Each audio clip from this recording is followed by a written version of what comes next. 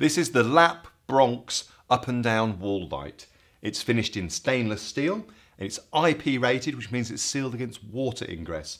It's designed to be wall mounted on the exterior of your property. Up and down lights serve a purpose. The light coming out the top floods the wall of building, makes it look attractive, and the light out the bottom means that you don't tread in any puddles because you can see where you're going. This particular light is designed to take two GU10 style lamps. If you're using halogen lamps, two up to 35 watts, but it does also take GU10 style LEDs. Great thing about these is they last a lot longer.